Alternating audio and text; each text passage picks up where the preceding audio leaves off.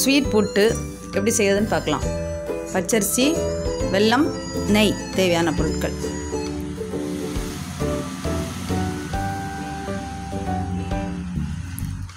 வெல்லம் ஒரு கப்பு பச்சரிசி மாவு ஒரு கப்பு. இது அரிசியை ஊற வச்சு தண்ணியை ஃபில்டர் பண்ணிவிட்டு மாவாக்கிக்கணும். வெல்லத்தை கரைய விட்டுக்கணும்.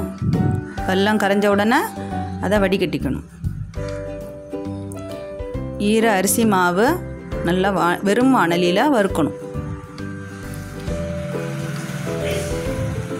கோலம் போட்டால் போடுற அளவுக்கு வறுக்கணும். கொஞ்சம் நேர நிறைய நேரம் வறுத்தாலும் தப்பு கிடையாது. செவக்க வறுத்தாலும் தப்பு கிடையாது.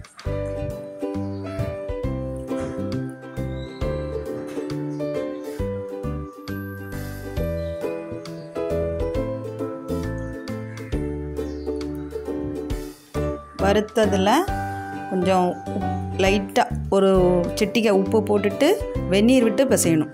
இதை செஞ்சுட்டு உ பிடிச்சா பிடிக்கணும் உதுத்தா உதிரணும் அந்த அளவுக்கு செய்ததை மஞ்சள் தூள் போட்டு லைட்டாக ஆவியில் வேக வைக்கணும். அதை நல்லா ஆற வச்சு கா ஆற விட்டுக்கணும். பாகு வைக்கணும் வெள்ளத்தை நல்லா பாகு வந்தவுடனே இந்த வெந்த மாவில் அந்த பாகை கொட்டணும். நல்லா உதுக்குற அளவுக்கு நம்ம நல்லா மிக்ஸ் பண்ணிக்கிட்டே இருக்கணும். நல்லா மிக்ஸ் பண்ணின உடனே நெய்யை சூடாக்கிட்டு ஆற வச்சுட்டு ஆட் பண்ணணும். தேவையான முந்திரி வறுத்து சேர்த்துக்கலாம் தேங்காய் கூட வறுத்து சேர்த்துக்கலாம். இது சுவாமிக்கு வெள்ளிக்கிழமை செவ்வாய்க்கிழமைகளில் செய்கிற ரொம்ப விசேஷமான நெய்வேத்தியம்.